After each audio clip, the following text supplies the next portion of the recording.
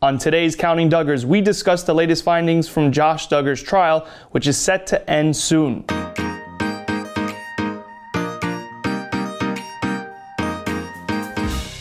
What's up guys, I'm your host Nicholas Gonzalez with another episode of Counting Duggars. Now before we begin today's video, I need you to hit the sub, like, and bell button down below for all the latest on your favorite celebs.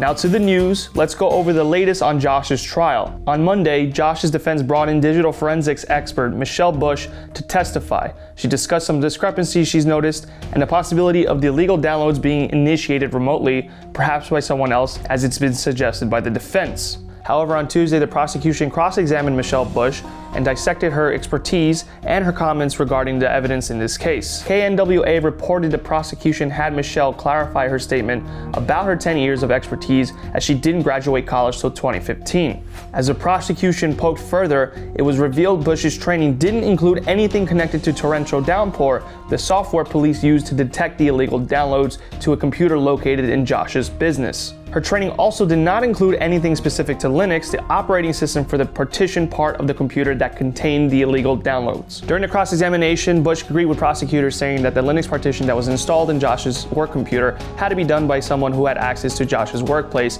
and not remotely. Prosecutors also asked Bush why her report neglected to mention the similar password between Josh's personal devices and the Linux partition in his work computer. Bush claims she didn't recall seeing that when she looked into the case and when asked by the prosecution if there was any evidence that Josh's work computer was accessed remotely about a month before his business was raided, she said, quote, I did not find any evidence from what I've seen.